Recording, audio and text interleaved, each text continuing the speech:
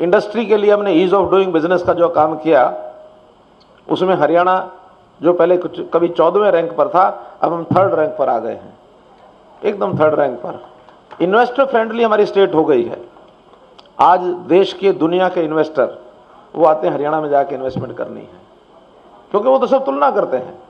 हमको लाभ कहाँ होगा? हमको वातावरण ठीक कहाँ मिलेगा? हमको इंस्पेक्टरी राज से छुटकारा कहाँ मिलेगा? हमको क्लियरेंसेज और लाइसेंसेज आसानी से कहाँ मिलेंगे?